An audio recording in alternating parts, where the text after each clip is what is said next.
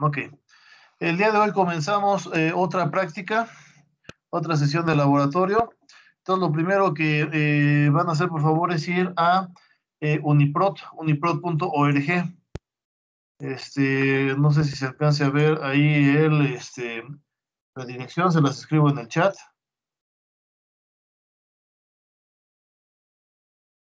uniprot.org. Ok. Esta es una base de datos de secuencias de proteínas. Es una base de datos este, que tiene otro tipo de información eh, este, con respecto al PDB.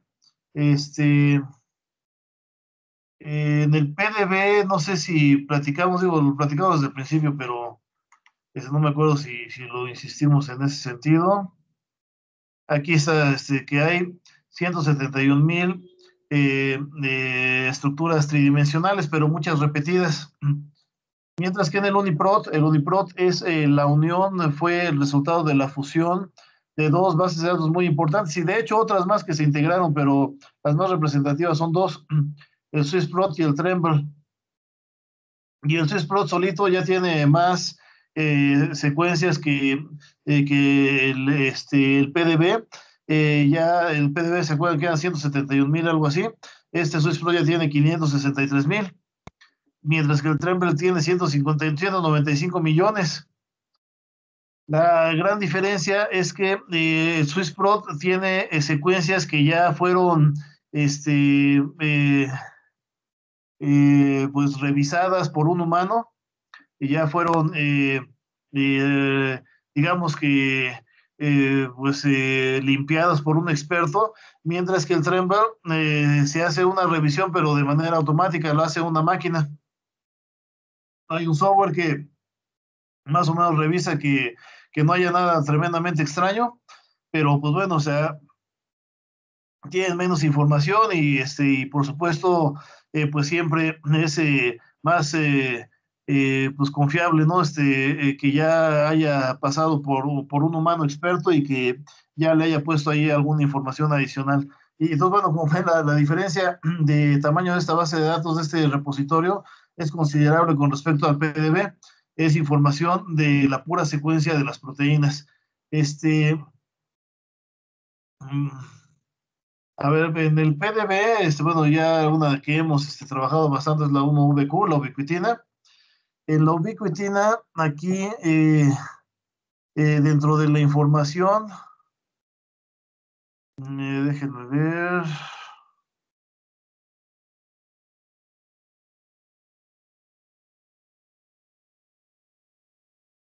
Esta es la información del gen. Creo que es esta, ¿no? A ver. Sí, aquí está. Bueno, es la eh, que aquí mismo que me da. Ah, no muchísimo, no, me da muchísimo, pero este es el, el código de la ubiquitina aquí en Uniprot. Eh, la poliubiquitina C. Este, entonces, bueno, este, aquí, eh, si le ponen aquí en, Uniprot en la cajita de texto de búsqueda, se los pongo también en el chat, ese numerito, ese es el de la ubiquitina eh, que hemos estado conociendo. Entonces, bueno, esa les parecerá un poquito eh, pues familiar, este, aunque pues es una, es un formato diferente, es otro tipo de información porque eh, se ha hecho, eso sí, un gran esfuerzo en Uniprot por poner aquí en esta página de esta proteína, pues todo lo que se sepa al respecto de ella, todo lo que se sepa, este, por ejemplo, en dónde tiene sitios de unión, en dónde tiene por ahí mutaciones, por ahí este, eh, qué función molecular tiene. En este caso es una eh, proteína que se une a otras proteínas y las va marcando. Eh, cuando una proteína está ubiquitinada, ya tiene muchas ubiquitinas pegadas y esa es una señal para que se procese, para que se recicle, para que esa proteína ya se considera que, que ya terminó su ciclo y entonces hay que, hay que reciclar, a lo mejor ya está un poquito mal plegada, ya tiene por ahí una función un poquito reducida, digo, aparte de que tiene cargando ubiquitinas, entonces este es eh, eh, una de las funciones principales, aunque por ejemplo aquí dice que se une a ARN, y eso, pues bueno, o sea, puede significar alguna otra función que, que pueda tener esta proteína. Eh, hay bastante información, déjenme ver qué más les destaco. Este, bueno, el reactoma, donde se sabe que tiene algún tipo de reacción con otros, y tiene bastante. Esa es una proteína que ha sido muy estudiada. Eh, porque está por todos lados y este, porque eh, es muy bien portada, se, se, puede producir artificialmente y se le puede dar seguimiento y es muy compacta, también tiene una estabilidad estructural bastante eh, buena para poder estudiarla bien, entonces este, pues tiene, tiene muchas ventajas para poder ser estudiada, es relativamente fácil de estudiar y aparte es muy importante, entonces tiene mucho sentido que mucha gente haya dedicado mucho tiempo a estudiarla. Eso es algo que es también muy interesante, eh, que se localiza sobre todo en el núcleo, que, que nos da aquí en Uniprot, este, que bueno, eh, aunque se encuentra en todos lados, este, pues bueno, sobre todo la, la vemos en el núcleo. Ok. De repente en el citoplasma, que pues bueno, este, eh, eso pues, de alguna manera inevitablemente porque eh, pues todo va fluyendo por ahí. Ok, aquí hay varias, este, esto también es muy interesante. En cualquiera de estos renglones, este, podría ser tal vez un tema de, de, exposición para ustedes para el tercer parcial, aquí en Pathology and Biotech, este, porque habla de mutaciones, de mutaciones que se eh, eh, han estudiado o que se han identificado eh, para esta proteína, bueno, y para cualquiera, ¿no? Para cualquiera que tenga su este, registro aquí en el Uniprot. y por ejemplo, pues bueno, aquí en la posición 48, este, nos dice que hay una mutación de lisina a arginina de KR, de manera que, este, bueno, esta tiene, dice que no tiene efecto. Eh, pero si en la 63 se hace lo mismo de, lisina a arginina, eh, este, eh, ya, no, o, ya no ubiquitina, ya se elimina su interacción con el PCNA, que debe ser otra proteína, no, no la conozco. Este, una mutación de la posición 65 este, impide la fosforilación en el caso de mitofagia. Y así este, estas mutaciones, y bueno, con frecuencia hay varias, hay algunas que este, en algunas eh, proteínas, sí, o sea, una mutación eh, te produce una enfermedad, una mutación te hace más eh, propenso al cáncer, eh, o al revés, ¿no? Hay algunas mutaciones que por ahí te pueden proteger de los efectos del BPA, de algún tipo de tóxico, eh, algunas este, son un poco más dramáticas, y hay algunas que, que, no tienen efecto o, son un efecto relativamente leve. Este, bueno, aquí se ve una representación de dónde está, uy, este, la mutación. Todavía no, todavía no. Sí, sí, aquí tiene enlaces por todos lados, entonces bueno, hay que andar con cuidado porque si no, pues se va a un otro lado. Eh, ok, ok. Ajá.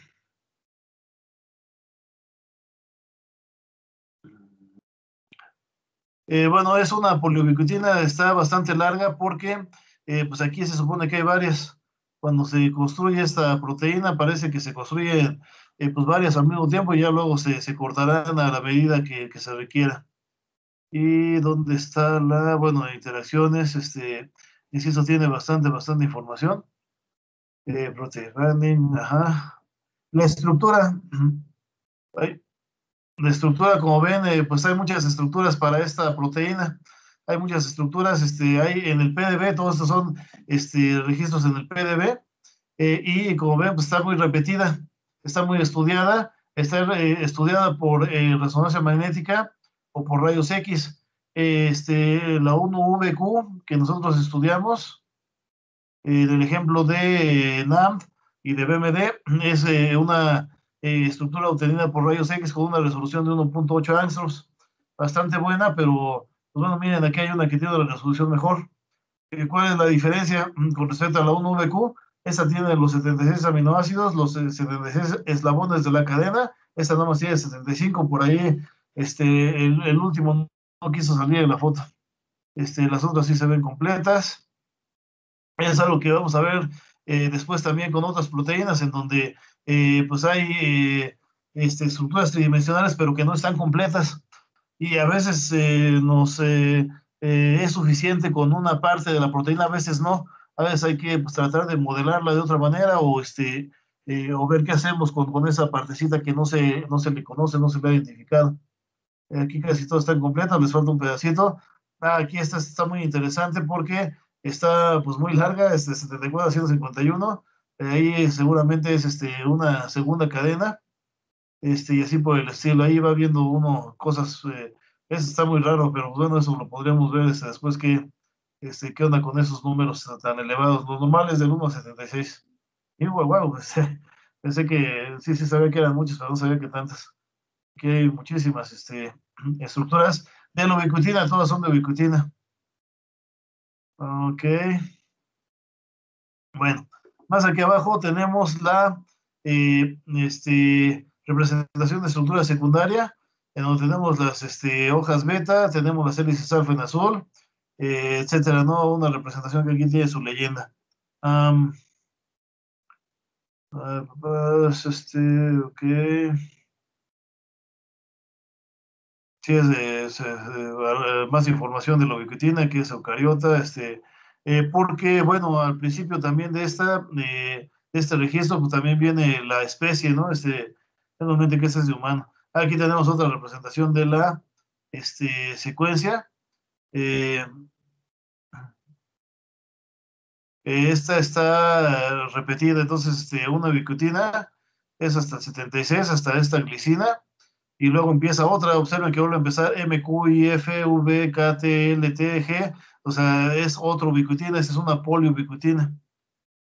Este, así la produce, bueno, al menos así la encontraron producida en la naturaleza, este, muy, este, bueno, una cadenota y ya luego alguna enzima llega y corta ahí, este, eh, eh, cada ubiquitina por separado. Eh, ok.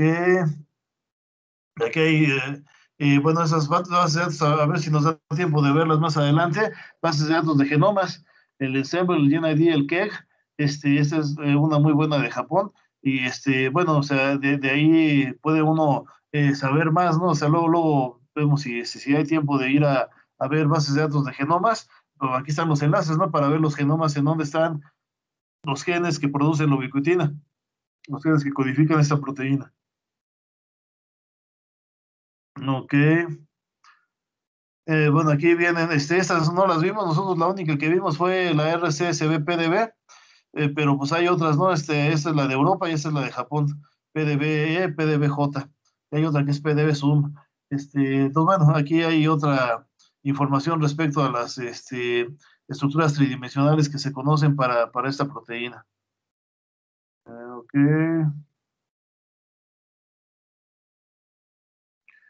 Déjenme ver qué más es. Bueno, ya casi terminamos este registro. Esto todo es un registro. Eh, visto como una base de datos, también es interesante ver cómo, cómo la diseñaron entidad-relación. Este, ok. Bueno. Eh, ¿Hasta ahí alguna pregunta? Ya, dimos una primera vuelta a este archivo. No sé si tengan ahí alguna pregunta. Ah, bestia, aquí está pregunta, ¿cuál es la manera más común en la que se produce una mutación? Eh, de eso platicaremos más adelante. Este, eh, pero la manera más común eh, que yo conozco es este, simplemente porque así funciona el proceso de transmisión de información biológica, funciona con, digamos, una inserción de errores cableadas, podríamos decirle. vamos a ver que efectivamente la maquinaria que lee eh, el ADN y el ARN y, que ya produce las proteínas, está hecha para equivocarse de vez en cuando. O sea, que es normal, es parte de la naturaleza que de repente se vayan eh, este, produciendo mutaciones. De hecho, eh, a lo largo de la vida de una célula se estima que hay cientos de mutaciones que se producen. Entonces, en un cuerpo como el nuestro, un cuerpo humano, bueno, más o menos de escala humana, ¿no? Este, eh, inclusive los animalitos, este, digo, tipo ratón o este, eh, o un poquito más grandes, este, ya tienen más o menos, eh, todos tenemos un trillón de células, o sea, un trillón, pero es un trillón gringo, o sea, son 3 por 10 a la 8 células. y entonces, este, pues son un montón, ¿no? Y cada una tiene unas 100 mutaciones este, en su vida. Bueno, hay unas que viven mucho, hay unas que, que viven relativamente poco, las de la piel, pues no viven tanto, se van reemplazando, las de los ojos viven toda la vida, Este, entonces hay muchas diferencias, pero, pero sí hay un montón de mutaciones, ¿no? En, una, en un ser vivo de nuestro tamaño, más o menos de nuestra escala, hay muchísimas mutaciones todo el tiempo, entonces, este, eh, no, no, sé, bueno, ahorita vamos a platicar un poquito, este, a ver si nos da tiempo, si no se los dejo de tarea. Los virus, los virus también este, están mutando, están mutando todo el tiempo. Y es, este, eh, pues, eh, porque así está la naturaleza, la naturaleza está hecha para mutar, y entonces, bueno, este, es parte es parte del proceso. También hay mutaciones que vienen por efectos externos, por rayos cósmicos, por radiación, este, por contaminación, este, etcétera, ¿no? O sea, sí, sí puede haber, hay, hay varios factores patógenos, varios este, factores ambientales que pueden producir mutaciones, eh, pero las mutaciones son normales, entre comillas, ¿no? O sea, parte de, cómo está funcionando la maquinaria celular eh, es para producir mutaciones. Es, es, algo que ha estado sucediendo pues prácticamente desde siempre. Eh, ok, este, ¿alguna otra duda? Muy bien, muy bien. ok. Este, vamos a, eh, bueno, este, hmm. Ah, vamos a darle una segunda vuelta eh, con algunas cosas que no, no mencioné. Eh, de entrada, aquí está el organismo, eso es algo que también es importante. Hay muchos organismos aquí representados en el UNIPROT.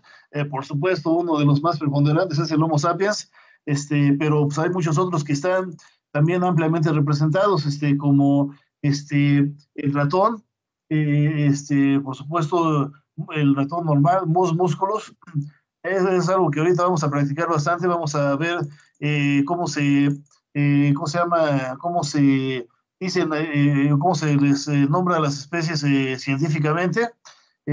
también el, el pez cebra, el Daniel rerio, ese también es un organismo muy, muy común. Ah, la, la, mosca, la Drosophila melanogaster, esta también es muy importante. Este, eso es muy interesante, creo que no les he platicado esa historia. Eh, pues bueno, la leyenda dice que, eh, pues bueno, había un genetista inglés, un genetista británico que pues quería hacer sus experimentos y pues este, en su eh, proyecto este, pidió cuyos, pidió unos pues, conejillos de indias y no se los dieron porque estaban muy caros. Y pues bueno, estaba pues, ahí meditando qué hacer, este, estaba pues, comiéndose un cóctel de frutas y de repente pues vio moscas en su fruta y dijo, oye, pues estas son gratis. Entonces, bueno, se le ocurrió, pues, ¿qué tal si hago mi investigación con moscas, con moscas de la fruta? Eh, pues tenemos muchas, son gratis, no, no hay sociedad protectora de las moscas este, de la fruta, entonces podemos hacer experimentos con esas, este, estas, eh, estos insectos, eh, estos este, volátiles, y entonces, bueno, desde entonces hemos estado estudiando la mosca de la fruta y se ha convertido en un organismo, pues, tremendamente estudiado, ¿no? Inclusive para cáncer, se, se le ha estudiado, este, no estoy seguro que las moscas tengan cáncer, pero, pero tiene proteínas que están relacionadas con el cáncer y entonces, bueno, eh, se, ha usado ese modelo para también estudiar este, eh, pues, proteínas que sabemos que están también en el humano, pero pues bueno, este, en el humano es más difícil de experimentar. Este, pues bueno, eh, vamos a ir viendo este, algunas otras especies, pero este, también quería mostrarles esto de aquí, miren, aquí en format, en formas, nos vemos eh, varios formatos en donde eh, tenemos eh, las secuencias, o sea, eh, teóricamente el Uniprot es una base de datos de secuencias, es un repositorio de secuencias, pero como pueden ver hay un chorro de información adicional que, que es muy valiosa.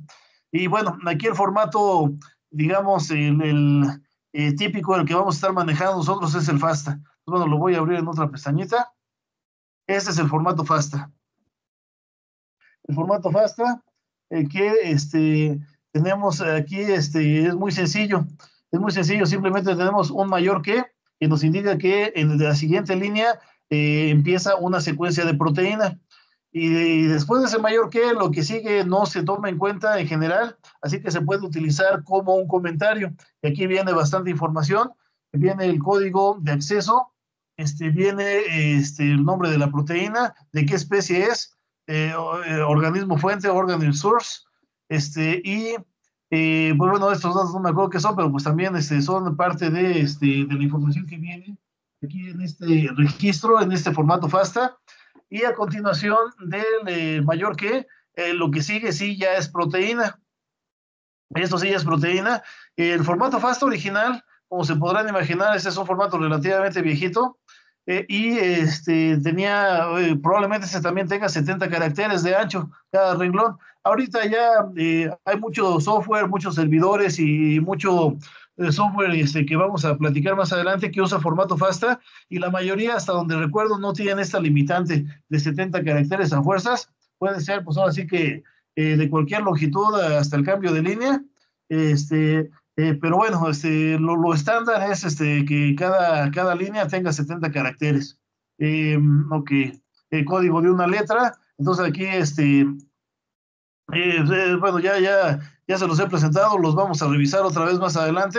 Metionina, glutamina, isoleucina, fenilalanina, valina, lisina, trionina, este, lisina, no, perdón, leucina, leucina, etcétera. No sé, bueno, ahí las va empezando uno a identificar.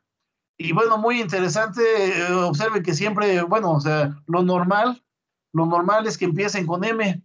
Eh, la metionina es la señal de start, es donde todas las proteínas empiezan. Vamos a ver algunas secuencias que no empiezan con metionina, que no empiezan con M, y el detalle ahí es que eh, pues ya sufrieron algún tipo de procesamiento este, después de que fueron construidas, llamamos modificaciones post-transcripcionales, este, luego veremos por qué. Eh, pero, pero el caso es que eh, lo normal es que empiecen con M, si no, es que ya les cortaron la cabeza, ¿verdad? Ya les este, mocharon un pedazo del N terminal, del extremo inicial, y entonces, bueno, ya, ya lo que quedó, pues ya este, es seguramente la forma funcional, la forma en la cual la proteína lleva a cabo su trabajo, eh, pero ya no está como estaba al principio, ¿no? Cuando fue creada, todas empiezan con una metionina.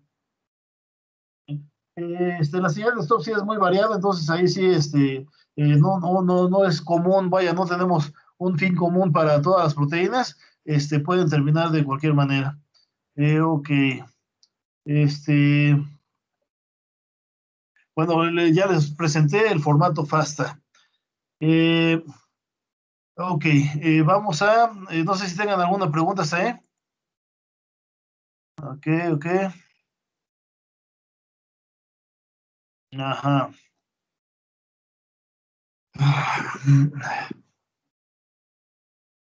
Vamos a, este, a conocer otra proteína muy importante, otra proteína muy importante que es la hemoglobina. Eh, vamos a ver, eh, aquí déjenme ver. este, porque hay un montón también, este,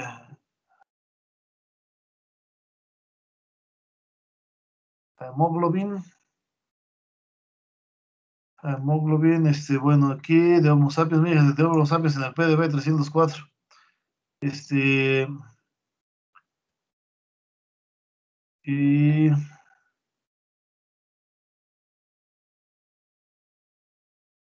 Es que hay varios estudios ahí. Y hay unas que tienen alguna cosa complexada, vaya, complejos que están ahí pegados con algo más.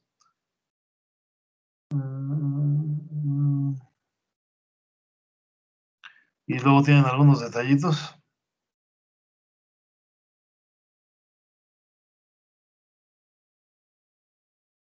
Parece que es la de puerco.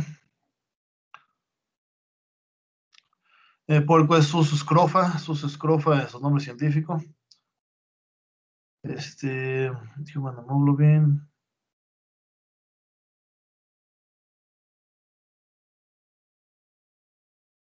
Ese está más o menos bien. Ok. Eh, lo que quiero es este, ver también en dónde está su. Por ejemplo, aquí, si en PDB vemos la secuencia, este, vemos, ah, miren, aquí está. Aquí está el, este, el código Uniprot. Eh, si ya me lo cambiaron un poquito desde la última vez que lo sé. Eh, pero sí, ahí está, este, y todo ahí, ahí podemos, creo que este es un enlace directo, de hecho, ¿o no? No, no, nomás me da el código. Ok. Entonces este código lo podemos buscar en Uniprot. Ah, no, sí, ahí, estaba. Uy. Poliubicutina, sí, vamos a ver. Uy, bueno, y aquí tiene un montón de... Justo a esto voy, a esto voy, a esto voy. Ok. Déjenme, bueno, déjenme abrir otra para no perder esa que tenemos ahí con la ubiquitina. Este, vamos a buscar este código. Ahí. Sí, hemoglobina unidad alfa, porque hay dos, hay alfa y beta, eh, y, este, eh, una hemoglobina está compuesta de dos eh, alfa y dos beta. Pues bueno, es una proteína muy importante y que se ha estudiado en muchos, este, en muchos, ¿cómo llamarlo? Este, muchas especies. Pues bueno, vamos a ver, esta es la ubiquitina humana. Entonces, vamos a ver aquí, FASTA.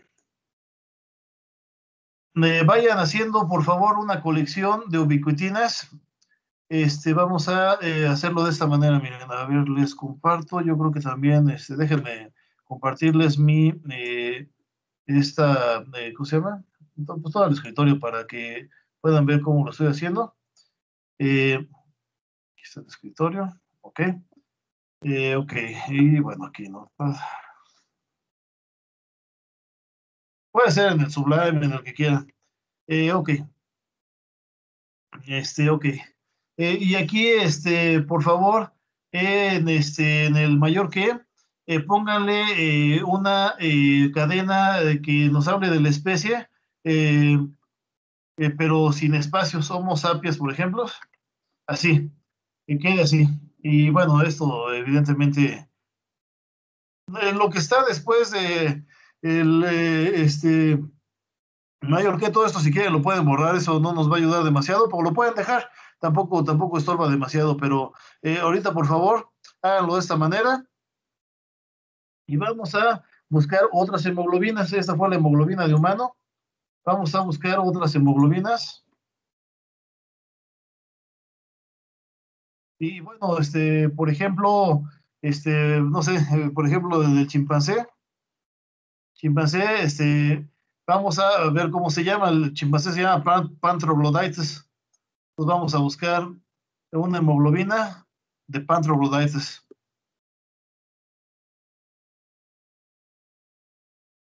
Aquí está, hemoglobina, ah, bueno, y alfa de preferencia, ¿no? Porque la que tenemos es alfa. Este, la beta se parece bastante, pero aquí la, eh, eh, tenemos la hemoglobina alfa de Panthroglodites. Entonces, este, esa, esa vamos a este, conseguirla en formato FASTA. y, y, así por el estilo. Entonces, este, a ver, ponerle aquí este, este identificador, pero eh, insisto, aquí en este, aquí en este, ¿cómo se llama? Eh, en el inicio, después del mayor que, póngale por favor esta, este, esta pequeña etiqueta eh, con eh, guiones bajos, medios o todo junto, no sé, también si quieren ponerlo así en camel case, este también está bien, ¿no? El caso es que, que no hay espacios en blanco. Eh, y, eh, y, cuántas vamos a considerar? Este, pues unas, unas 20, unas 20, y entonces, este, eh, vayan haciendo por favor esta colección, y con qué especies, con la que ustedes quieran. sí, les voy a poner aquí unas 10 para que las incluyan en su búsqueda les voy a poner eh, algunas este, eh, que están, eh, ¿cómo se llama? En, eh, eh, que, que, me parece que será interesante que las consideremos, pero este, pues bueno, ustedes también si quieren añadir alguna otra especie que les llame la atención, aquí, aquí pueden ponerla y también la consideramos. Ok, ¿alguna duda de este ejercicio? Ok, vamos a este, eh, vamos a conseguir algunas y este, ahorita platicamos. Entonces, este, bueno, ahorita para no distraerlos les descomparto, dejo de compartir y pues vamos a este, conseguir algunas otras secuencias.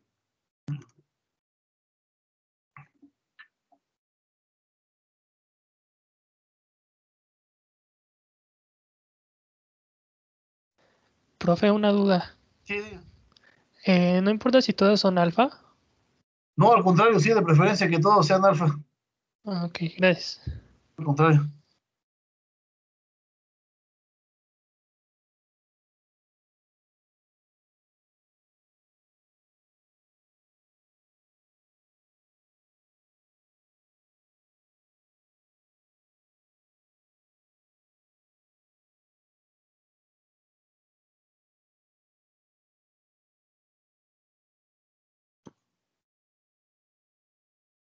Profesor, todas las recopilaciones tienen que estar en el mismo archivo, ¿verdad? Eh, sí, sí, sí, ahorita van a quedar todas en el mismo archivo y de hecho las vamos a copiar a, otra, a otro lugar, pero ahorita sí vayan las guardando en un solo archivo y bueno, si quieren en su reporte, ahí, ahí me las van a poner también en su reporte. Vale, gracias. Al contrario.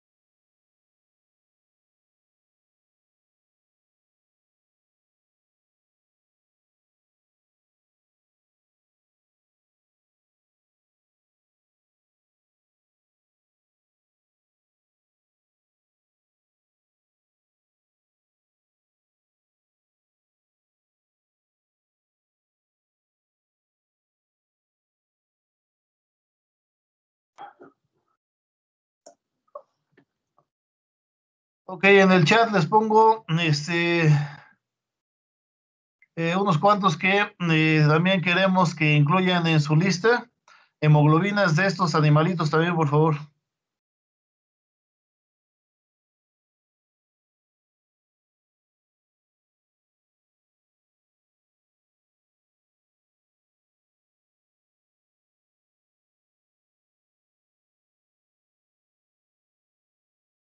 Ok, si quieren para hacerlo con calma, pues de una vez este, lo combinamos con el descanso. Entonces, este, nos eh, vemos por favor a las cinco y media. Mientras Eh, bueno, de una vez este, tomo la asistencia del día de hoy. Ya se descargó. Ok, detengo la. A ver, ¿qué pasó aquí? Los VC. A ver, ah, perdón. ¿Qué pasó? ¿Qué pasó? ¿Qué pasó? No entendí cuál es VC.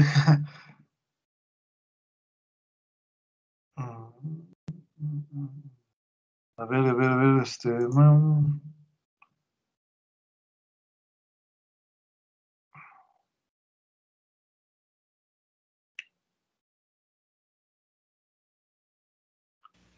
Ah, profe, Este, queremos la hemoglobina a estos animalitos. ¿Qué pasó? Eh, tengo una duda. Cuando Sí. busco, por ejemplo, la hemoglobina de una tortuga, me aparecen subunidades alfa, pero con diferentes clasificaciones. A, D, B. ¿Elijo cualquiera?